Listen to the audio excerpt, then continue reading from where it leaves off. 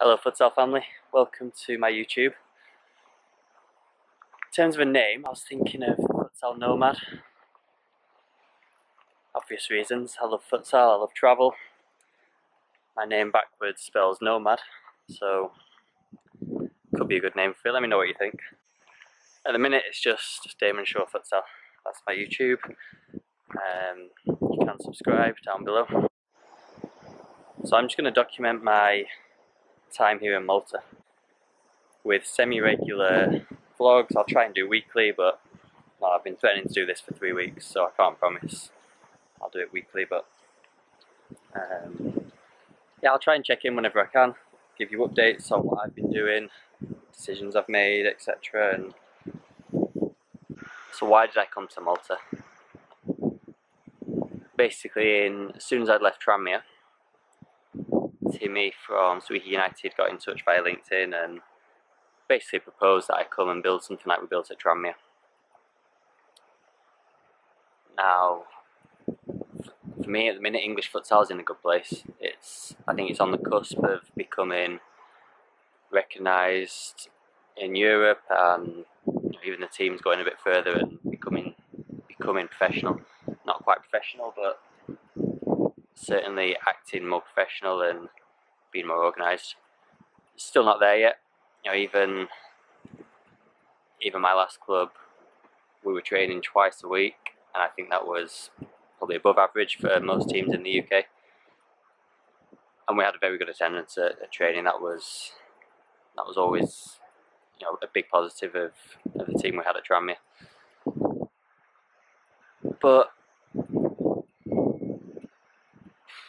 it's difficult in England still people putting football first, putting there's a, people have jobs, people have lives. You know, there's there's a lot going on in England that puts futsal down the pecking order.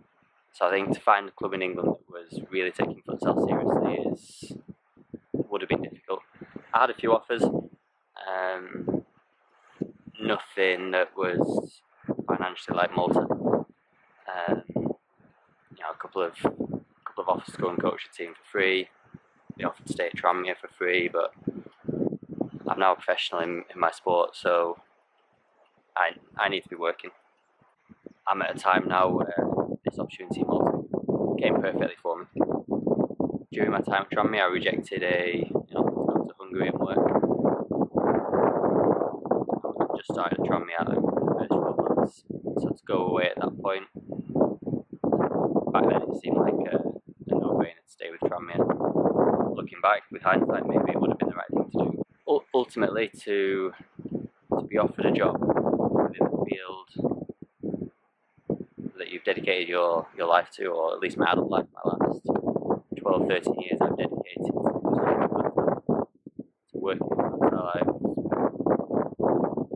Countless years learning my trade. I, I moved to Spain on my own accord, the coaching eh? eh? uh,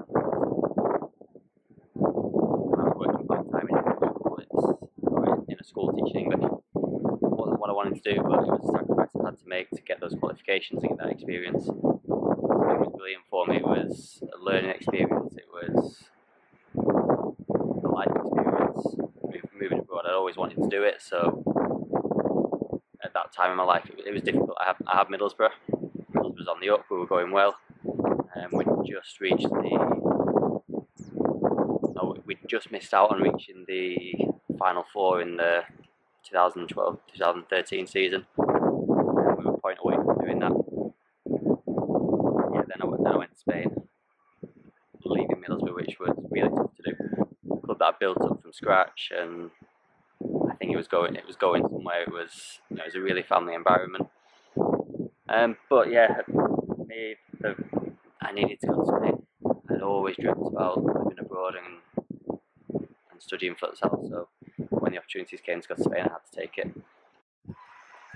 Ultimately, the offer in Malta was a full-time position within a semi-professional football club in a in a league that's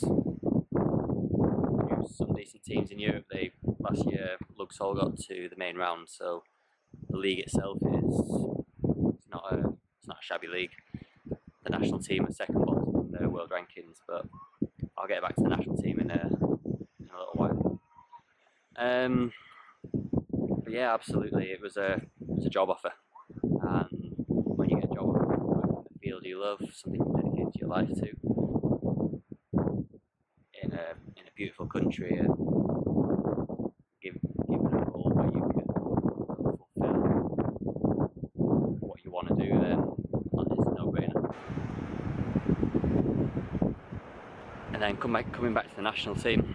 So the national team coach is Vic Hermans, who's one of the top coaches in the world. He's coached Indonesia, Thailand, Malta previously, Holland. He played in the first World Cup and was the best player there. And to know that he's on the island working with the Maltese FA again as the national team coach was an attraction for me. I've known known Vic for eight to ten years, and to have someone like him as a mentor for me was was a big pull, a big pull to come to Malta. Uh, I've, I've met him once already, and and yeah, just to have that knowledge that I can tap into and and bounce off whenever needed to help the club, to help me, was um, that was a really nice added bonus coming to Malta. The important thing is for people wanting to work in futsal is work hard. In anything you want to do, you've got to work hard. You've got to put the hours in. You've got to put the dedication in. You, you'll start off as a volunteer. You might get the odd paid job here, but ultimately you're going to start off as a volunteer. Get as much experience as you can, read as much as you can, build the connections, build your futsal community, and you know that's what I was doing from day one. Within a year of being involved in futsal, I was playing in a tournament with FC Barca and Sporting. Sporting at the time were third best in the world, and and there was us Middlesbrough Futsal Club getting trounced 18-1, granted, but we were there on the biggest stage after one year, and that was just through sheer ambition um, and making contacts and putting yourself out there. I can't, I can't enough the importance of social media, Twitter, Facebook, and making those connections and building those relationships. That helped me right from the start. So that tournament there in Portugal, that's where I met the FC Barca coaches and and really that changed my, my career totally. Having got in touch with the Barca coaches, I spent time in Barcelona. That's where I met Marc Carmona. And we're talking about eight, ten years ago now. Um, Marc being such a good mentor for me It's been a huge help.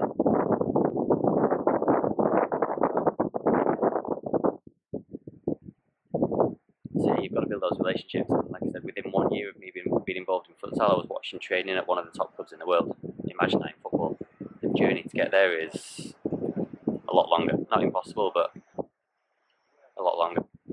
Um, so yeah, build, build those connections, work hard, go out your way to get that experience.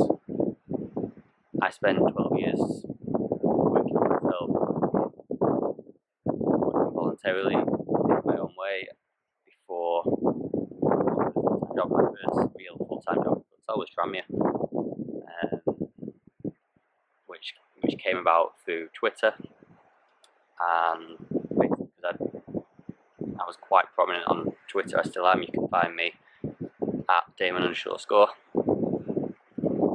Damon underscore Shaw, blooper roll there. And yeah, because my profile on there was good, I was respected within the English game because I was in Spain doing my UEFA B, UEFA A, and it was Nicola Palios who got in touch with me via there, and that was, was done within a couple of days. And, and really, that was my first full-time role in futsal. But I came after 12 years of hard work, hard work and, and dedication to becoming a coach, learning from the best. Same thing happened with with Malta. Having left Tranmere, I was obviously a free agent. But we wanted something a bit like we did in Tranmere. What we had there was was almost in, in my in my perfect vision. I think the third year would have been would have been you know, really top. We had 140 kids, we had the senior team, women's, development team, all part of a family that were really going to push that club forward, and you know, I hope they still do. They've got Matt, Matt Joss at the helm, so hopefully that can carry on. Um, and yeah, that's what Swieqi United got in touch with me about. So, but yeah, 13 years of, of hard work and graft before to get those those jobs.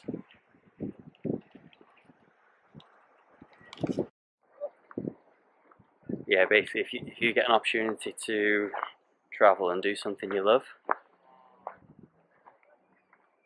then you've got to take it. Initially, I was thinking maybe I'll come for a year, but now I'm here. The decision's been justified.